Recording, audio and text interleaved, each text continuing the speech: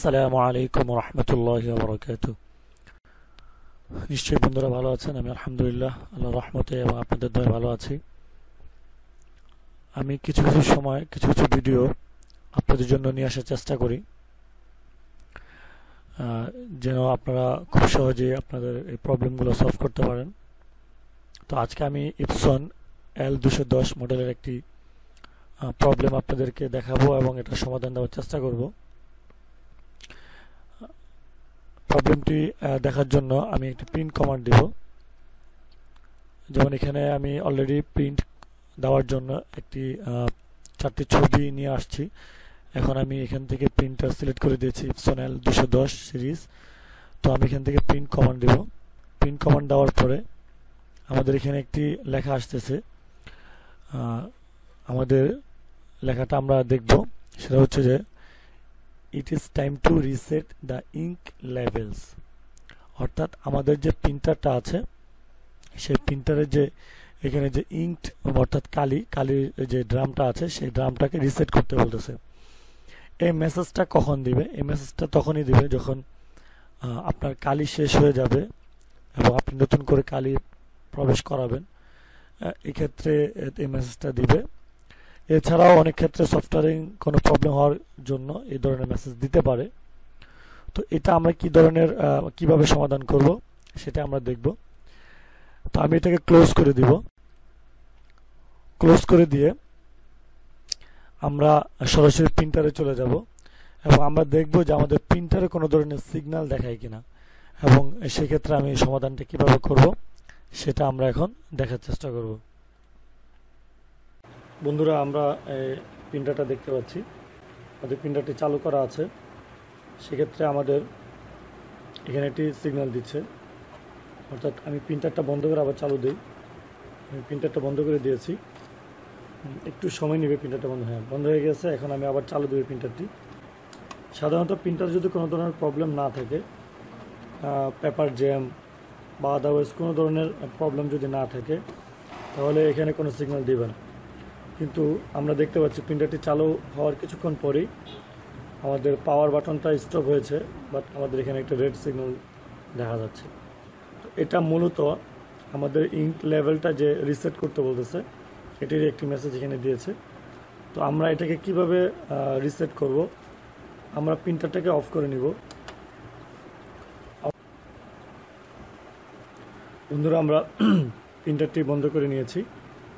এখন আমরা আমাদের যে এখানে দুটি মাঝখানে বড় বড় বড় দুটি বাটন আছে, তো আমরা ডান পাশে যে বাটনটা আছে, এই বাটনটাকে প্রেস করে ধরে আমরা পাওয়ার বাটনটা পনেরো সেকেন্ড ধরে রাখব। তো প্রথমত আমি এখানে প্রেস করলাম, তারপর পাওয়ার বাটনটা প্রেস করে ধরে রাখব পনেরো সেকেন্ড আমাকে পনেরো সেকেন্ড পর্যন্ত ধরে রাখতে হবে। পনেরো সেকেন্ড ধরে রাখার পরে আমরা এটা ছেড়ে দেব।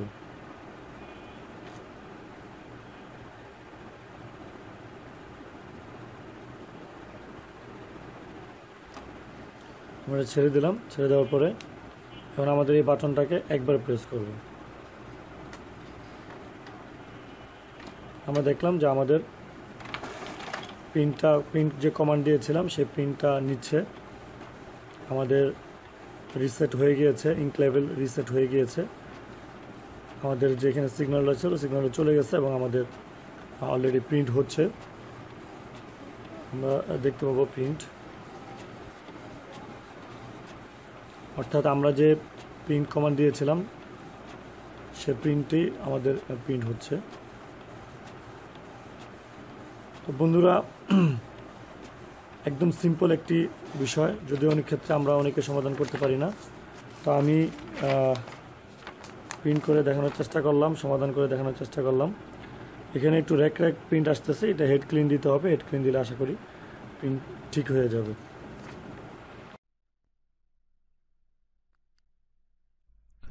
তো বন্ধুরা, আমি বিষয়টি দেখানোর চেষ্টা করলাম। আশা করি আপনি, আপনারা সহজেই বিষয়টা বুঝতে পেরেছেন। আমি আরেকটি প্রিন্ট দিয়ে আপনাদেরকে প্রিন্ট কমান্ড দিয়ে আপনাদেরকে দেখানোর চেষ্টা করব যে আমাদের প্রিন্টারটা ইঙ্ক লেভেল রিসেট হয়েছে কিনা এবং পুরোপুরি প্রিন্টারটা ঠিক হয়েছে কিনা। আমি এখান থেকে জিমেলের একটা প্রিন্ট দিব। এখান থেকে আসার পরে আমরা এখান থেকে প্রিন্টারটা সিলেক্ট করব। আমাদের এখানে প্রিন্টার হচ্ছে মডেল হচ্ছে ইপসন এল দুশো দশ। সিলেক্ট করার পরে আমরা এখান থেকে প্রিন্ট কমান্ড দেব। প্রিন্ট কমান্ড দেওয়ার পরে আমরা দেখব যে আমাদের প্রিন্ট হচ্ছে কিনা। আমরা দেখতে পাচ্ছি যে আমাদের প্রিন্ট হচ্ছে।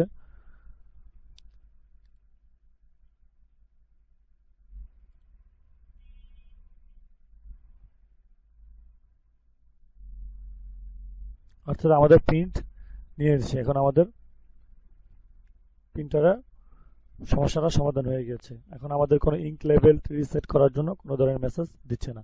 তো ধন্যবাদ সবাইকে ভিডিওটি ধৈর্য ধরে দেখার জন্য।